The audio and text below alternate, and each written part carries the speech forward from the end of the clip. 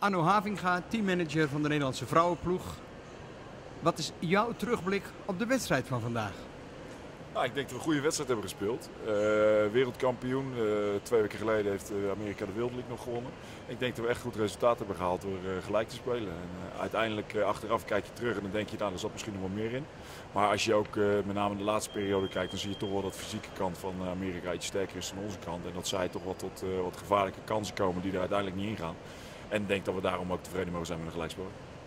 Het is toch wel bijzonder om een toernooi te starten als herhaling van de Olympische finale. En dan ook nog nu dus spelen uh, tegen de ploeg die 's werelds beste is. Hoe ga je erin dan? Nou ja, goed, het is natuurlijk een hele sterke tegenstander. En ons dadelijk uh, morgen, of overmorgen Kazachstan zal waarschijnlijk iets makkelijker worden. Maar mogen we zeker niet onderschatten. En dan Hongarije is uh, ook een sterke ploeg. Maar ja, Amerika is inderdaad de wereldkampioen. En uh, aan de ene kant is het ook wel lekker om op die manier meteen te starten. Omdat dat toch, zo'n eerste wedstrijd is toch altijd net een beetje anders dan als je al een beetje zo'n toernooi gegroeid bent. En dan is het helemaal niet slecht om, om gelijk zo'n goede tegenstander te treffen. Hoe ging die ploeg er eigenlijk in? Waren ze zeker van zichzelf? Of was het gewoon even dat zenuwachtige afwachten voor, uh, zoals dat is voor elk begin van het toernooi? Nou, ik denk dat er best spanning was. Met name ook omdat het de eerste wedstrijd van het toernooi is. En uh, dat heeft denk ik meer daarmee te maken dan met de tegenstander. Ik denk wel dat... Uh, dat de ploeg inmiddels zo gegroeid is dat wij wel uh, zelfverzekerd zo'n wedstrijd in kunnen gaan. En we hebben nu ook bewezen dat niet uh, zoals een aantal jaren geleden het geval was dat we elke keer goed meespeelden en uiteindelijk de wedstrijd verliezen. Dat we nu hebben laten zien dat wij ook gewoon kunnen domineren in een wedstrijd. En dat hebben we nu een aantal delen van deze wedstrijd ook gedaan. Als je dan zo speelt tegen de heersende wereldkampioen en dit niveau hebt, mogen we dan veel verwachten? Ja, dat denk ik wel. Als je, als je gelijk speelt tegen de wereldkampioen, dan geef je aan dat je gewoon op dat niveau mee kan. En uh, zo zijn hier nog zes, zeven landen die op dat niveau spelen. Dus wat dat betreft uh, ja, kan het in een wedstrijd uh, net omslaan in je nadeel of in je voordeel. Dus, maar ik denk zeker als we deze lijn voort kunnen zetten, en ik weet zeker dat we vanuit dit niveau nog wel een stuk kunnen stijgen, nou, dan, dan acht ik ons zeker kansen toe om, om er nog medailles mee te doen. Zijn we in Shanghai en wie komen we tegen? Kees Rijn van den Hogeband. Uh, de voorzitter van de medische commissie van de FINA. Uh, Kees Rijn, uh, je hebt natuurlijk vanmorgen ook de waterpolo-wedstrijd Verenigde Staten-Nederland gezien. Ja, natuurlijk. ik ben voorzitter van de medische commissie van de FINA, maar ik ben wel Nederlander. Dus ik was vanochtend half tien, sharp, een waanzinnig mooie pot gezien tussen Nederland en, en, ja, en Amerika. En Amerika toch de gedoodverfde favoriet. Nederland deed voortreffelijk en op haar na hij zal nog kunnen winnen ook. Als dat ene rare schot uh, niet uh, blijft hangen op de doellijn is nog raak ook. Ik vond mij de steen goed. Het belooft wat voor het EK volgend jaar in januari. Ja, als je daar niet bij bent, dan, uh, dan ga je echt wat missen. Dat is, dat is waanzinnig goed. Die polo-meiden, we hebben er al zo weinig mee gedaan na de, na de fantastische overwinningen in Beijing. Maar nu gaat het de tweede keer gebeuren dat die meiden van ons gaan toeslaan in Nederland. Ja, je bent knettergek als je daar niet komt kijken. Je hebt mooi zo het nuttige met het aangename verenigd. Uh, je, bent hier natuurlijk uh, uh, heel vaak als voorzitter van de medische commissie. Er zijn een paar dingen. het vlees in de Kuip in Shanghai. al die hotels die glenbuterol vrij zijn en dergelijke. Ja, maar dat is ook een probleem. Hè.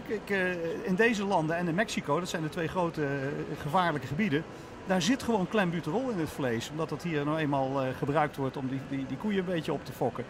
Er zijn 15 hotels hier in, uh, in dit uh, land die zijn nu klembuterolvrij. Althans, dat garandeert de organisatie. Dat zo is, dat weet ik eigenlijk niet. Maar om je wat te verklappen, we hebben alweer een zwemmer gevonden met uh, 7 picogram klembuterol in de urine. Nou, dat is dus helemaal niks. Dat is een snufje. Kijk, het vervelende is dat we weten natuurlijk veel te goed hoe we het op moeten sporen tegenwoordig. Dus dan zit er een heel klein vleugje zit erin. En de volgende dag is dat alweer weg. Maar het is al geseponeerd, die zaak. Een andere zwemmer uh, waar toch ook nog wel veel rumoer om is, dat is natuurlijk uh, onze Cesar Cielo uit uh, Brazilië. Olympisch kampioen op de 50 meter vrije slag. Hij is er ook de wereldkampioen op. En wat moet je nou aan met zo'n jongen, zo'n groot zwemmer? Ja, dat is een drama eigenlijk, als je er goed naar kijkt. Want dat is inderdaad een groot zwemmer.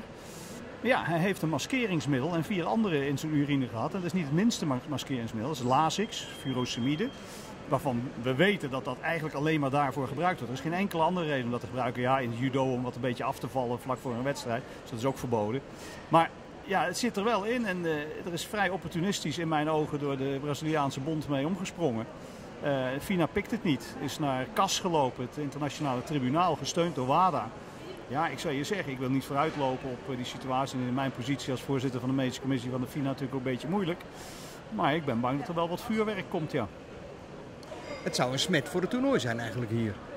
Nou, niet zozeer voor dit toernooi, maar wel een smet op, uh, op het zwemmen. Wat altijd toch als een, een, behoorlijke schone sport. En ik denk ook dat het zo is als je ziet hoeveel dopingcontroles er zijn. Hoe weinig positieve gevallen in al die jaren zijn. Uh, het zou een smet op het, op het zwemmen zijn. En ik denk dat het ook een enorme blame is voor de, voor de Brazilianen. Twee jaar geleden ging het altijd en eeuwig over badkleding. Uh, hebben jullie hier ook nog verdere hot items in Shanghai? Als je het vanuit medisch oogpunt bekijkt, uh, geen echte hot items. Wat we wel aan het doen zijn, en dat vind ik wel heel leuk, steeds meer proberen in de educational zaken, om het zo te zeggen, in de opvoeding te komen. Dus wij gaan onze website verder uitbouwen. We zijn bezig met een groot sportmedisch congres van de FINA in Istanbul volgend jaar. Nee, of twee jaar, sorry, 2013. En ja, wat er, wat er verder allemaal in, in onze handen komt. Dus uh, uh, we zijn een, studie aan het doen naar, naar, naar de preventie van schouderletsels. En daar gaan we een video voor maken. Die video is al bijna klaar overigens. Die is door Jim Miller, Amerikaan, gemaakt. Ja, we zijn, zijn heel druk bezig. Het is, het is dus wat anders dan dat gedoe met doping en met, met pakken.